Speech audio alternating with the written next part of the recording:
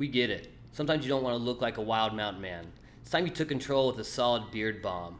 Tame those flyaways and keep your manly mane in check. That's exactly what a good beard balm can help you do. As your beard grows, your whiskers start to get out of control and take on a mind of their own. When you first started growing your beard, you were happy to see them. Now that your beard is getting more manly, it might need some more love. Beard balms are a great way to control unruly beards. Unlike beard oil, beard balms are made of wax. This gives the balm its holding capabilities.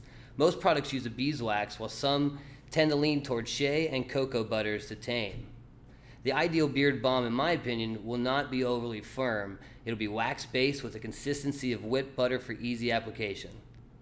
Balms are great not only for holding your beard in place, but also for conditioning and hydrating your beard. Ingredients like jojoba and argan oils help with this as well as overall beard health. Applying the beard balm is simple. We like the beard to be slightly damp so it absorbs the wax better.